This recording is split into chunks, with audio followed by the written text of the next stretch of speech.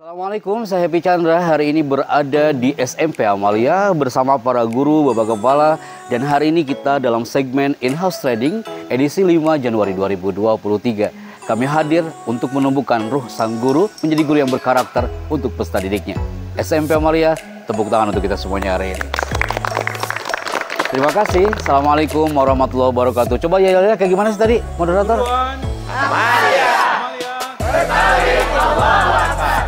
Berkah. Assalamualaikum warahmatullahi wabarakatuh.